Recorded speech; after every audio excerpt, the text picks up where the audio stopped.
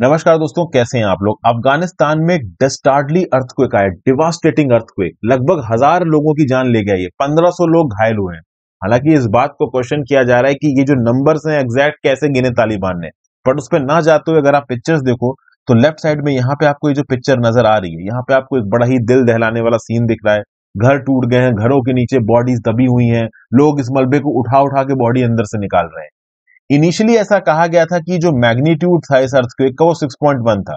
बाद में ऐसा बताया जा रहा है कि लगभग 5.8 5.9 है। अगर आप इस नक्शे को देखो, ये नक्शा थोड़ा गलत है। ये पाकिस्तान ऑक्युपाइड कश्मीर जो है, वो इंडिया का है। ओवरऑल ये पाकिस्तान और अफ़गानिस्तान के बॉर्डर पे, इस जगह पे खोस्त के साउथ वेस्ट उनतीस मील में आपको ये पर्टिकुलर अर्थक्वेक आता नज़र आएगा। और ये डेथ टॉल आगे बढ़ सकता है, ऐसा भी यहाँ पे बताया जा रहा है। यूनाइटेड स्टेट्स जियोलॉजिकल सर्वे ने इसका एग्जैक्ट मैग्नीट्यूड बताया। शुरुआत में मैग्नीट्यूड 6.1 लग रहा था, बाद में बोला गया कि नहीं भाई 5.9 है। इसका जो एपी सेंटर था it was about 44 kilometre from Khost city in Afghanistan देखिए, जब भी अर्थक्वेक आता है तो दो शब्द आपको पता होना चाहिए। एक तो आपको पता होना चाहिए एपी सेंटर दूसरा आपको पता होना चाहिए फोकस फोकस को हाइपोसेंटर भी कहा जाता है। ये दोनों शब्द मैंने आपको ज्योग्राफी में पढ़ाए हैं, नहीं आपको याद है, मैं बता देता हूँ। मान लीजिए ज़मीन है, ठीक है ना? और इस ज़मीन के नीचे कहीं पे कोई दो तीन रॉक्स का अलाइनमेंट है जो आपस में फॉल्ट हो गया। फॉल्ट हो गया तो जिस जगह पे एनर्जी रिलीज़ होगी उस फॉल्ट की वजह से। इसको आप बोलोगे फोकस इसको आप बोलोगे हाइपोसेंटर इस हाइपोसेंटर पे फॉल्ट हुआ है, जो भी रॉक्स है वो एक दूसरे से रगड़ के खिसक गई या जो भी हुआ और उसके चलते tremendous amount of energy release हुई। और ये tremendous amount of energy earth के पॉइंट पे सबसे पहले कहाँ पहुंचेगी? जो पॉइंट इस फोकस के वर्टिकली ऊपर होगा। तो अर्थ की सरफेस पे फोकस से जस्ट वर्टिकुलर ऊपर जो पॉइंट है, इसको आप बोलते हो एपी सेंटर तो जो एपी सेंटर था इस अर्थक्वेक का, वो खोस्त स्थिति से 44 किलोमीटर दूर था। तो आई होप एपी सेंटर और फोकस हाइपोसेंटर ये दोनों चीज़ें यहाँ पे आपको समझ में आ गई। और यूरोपियन मेडिटेरेनियन सीजमोलॉजिकल सेंटर का यह बोलना है कि पाकिस्तान और इंडिया दोनों जगह पे इसके ट्रेमर्स मतलब महसूस हुए। अब देखिए, पेशावर तो वेस्ट पाकिस्तान में आता है तो यहाँ पे तो ट्रेमर्स आएँगे ही। इस्लामाबाद, लाहौर, ईस्ट पाकिस्तान में यहाँ पे भी ट्रेमर्स आए। कोहाट, मोहमान स्वात बुनेर, पंजाब, ठीक है ना? खैबर पख्तून वाला यहाँ तक भी इसके ट्रेमर्स महसूस हुए। तो आप देख सकते हो कि ओवरऑल ये था इसका, पर यहाँ पे भी मैप गलत दिखा रखा है। तो एपिसेंटर आपको समझ में आ गया होगा क्या होता है फोकस क्या होता है, समझ में आ गया होगा। अब ये जो पर्टिकुलर इलाका है, जिस जगह पे ये अर्थक्वेक आया है, इसने कहीं ना कहीं प्रॉब्लम क्रिएट कर दी क्योंकि ये रूरल इलाका है, ऊपर से माउंटेनियस टेरेन है तो यहाँ पे एक ह्यूमिनिटेरियन डिजास्टर बर्बादी मचा सकता है क्योंकि देखिए हॉस्पिटल्स वगैरह है नहीं। पहले जो भी ह्यूमिनिटेरियन एजेंसीज जो भी डिजास्टर रिलीफ ऑर्गेनाइजेशंस काम करते थे अफ़गानिस्तान के अंदर, वो तालिबान के टेक ओवर के बाद छोड़ के चले गए हैं। तालिबान इंटरनेशनल एक्सेप्टेबिलिटी मान रहा है। कंट्रीज़ इंटरनेशनल एक्सेप्टेबिलिटी दे नहीं रही, क्योंकि तालिबान का जो गवर्निंग आइडियोलॉजी है, वो गलत है। तो इस कंटेक्स्ट में, इस पर्टिकुलर इलाके के लोगों को एक बवाल सा हो गया। हाउसेस गिर गए, उनके नीचे, उसके मलबे के नीचे बॉडीज दफनाई हुई है मतलब दबी हुई है, उनको निकालना मुश्किल है। ईस्टर्न प्रोविंस ऑफ़ पक्तिका में यहाँ पे आया है।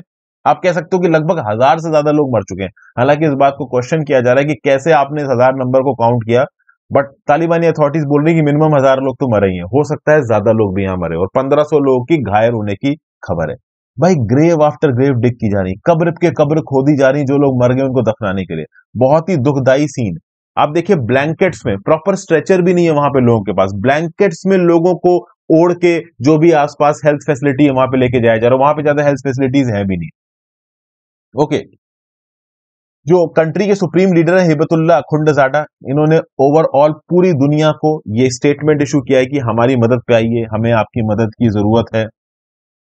लेकिन अब कितनी कंट्रीज़ मदद के लिए आएँगी पता नहीं क्योंकि रीजन भी जब बाकी कंट्रीज़ अफ़गानिस्तान के तालिबान रूलर्स के साथ नेगोशिएट करती हैं तो तालिबान रूलर्स अपने हिसाब से काम करते हैं, अपने हिसाब के लॉस चलाते हैं। डेमोक्रेसी ह्यूमन राइट्स की कोई भी कदर नहीं है। और at this point of time ये गुहार लगा रहे हैं पूरी दुनिया को। हालाँकि इंडिया ने काफ़ी मदद यहाँ पे भेजी है। पाकिस्तान की तरफ़ से भी यहाँ पे मदद की। बहुत सारी कंट्रीज़ यहाँ पे मदद भेजेंगी। कुछ नॉन गवर्नमेंटल ऑर्गेनाइजेशन जो कि अफ़गानिस्तान में जैसे रेड क्रिसेंट सोसाइटी ने यहाँ पे बहुत सारे स्ट्रेचर्स वगैरह शॉल्स और कुछ खाने पीने की चीज़ें भेजी हैं। हेलीकॉप्टर्स जो भी वहाँ पे अवेलेबल है, उनको भेजा गया है। रेस्क्यू कमिटीज बनाई गई हैं लोकल लेवल पे मेडिकल टीम्स को यहाँ पे मोबिलाइज किया गया है लोगों की मदद करने के लिए। लेकिन फिर भी जो पिक्चर्स निकल के आ रही हैं, वो काफ़ी मुश्किल है। रेस्क्यू और रिहेबिलिटेशन बहुत ज़्यादा कॉम्प्रोमाइज है इस इलाके में क्योंकि बहुत स्ट्रांग मेडिकल इंफ्रास्ट्रक्चर है नहीं। ये इलाका पाकिस्तान बॉर्डर के पास है, लेकिन पाकिस्तान बॉर्डर के दूसरी तरफ़ भी कोई बहुत extraordinary medical facilities available है नहीं। पाकिस्तान खुद कोई डेवलप्ड कंट्री है नहीं, जो एक मेजर स्केल पे हेल्थ फैसिलिटीज़ अफ़गानिस्तान के लोगों की मदद के लिए पहुँचा सके। इंडिया ने डेफिनेटली यहाँ पे बोला है कि हम अफ़गानिस्तान की मदद करेंगे। जो भी नीड जो भी सप्लाईज अर्जेंट बेसिस पे इंडिया पहुँचा सकता है, वो पहुँचाने की कोशिश करेगा।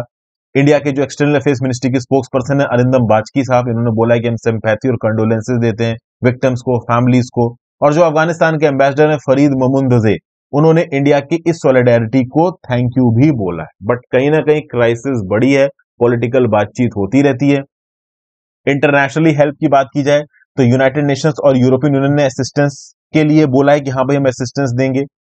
इंटर एजेंसी असेसमेंट टीम्स को यहाँ पे डिप्लॉय किया गया अफेक्टेड एरियाज़ में। ये किसने बोला? UN office for the coordination of humanitarian affairs ने बोला अफ़गानिस्तान के अंदर।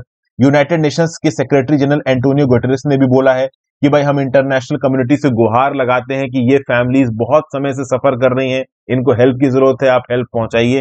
कितनी हेल्प जाएगी, वो देखना बाकी है। अफ़गानिस्तान चूँकि एक माउंटेनियस इलाके में आता है हिंदू कुछ माउंटेन रेंजेस वहाँ बहुत हद तक फैली हुई हैं। टेक्टोनिक प्लेट्स वहाँ पे कोलाइड करती हैं यूरेशियन प्लेट और इंडियन टेक्टोनिक प्लेट कोलाइड करती है। तो इसके चलते Afghanistan is very much earthquake prone तो कौन कौन से अर्थक्वेक पहले आ चुके हैं? तो 2015 में भी एक मेजर अर्थक्वेक आया था, जिसने अफ़गानिस्तान और नॉर्दर्न पाकिस्तान में 200 लोगों को मार दिया था।